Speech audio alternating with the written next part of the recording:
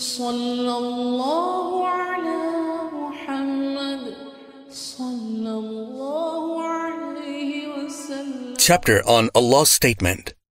And remember, when you ran away dreadfully without even casting a side glance at anyone, up to all that you do. Quran, chapter 3, verse 153. Narrated Al-Bara bin Azib, may Allah be pleased with them, the Prophet peace be upon him appointed Abdullah bin Jubair as the commander of the cavalry archers on the day of the battle of Uhud. Then they returned defeated, and that is what is referred to by Allah's statement. And the messenger, Muhammad, peace be upon him, was in your rear, calling you back.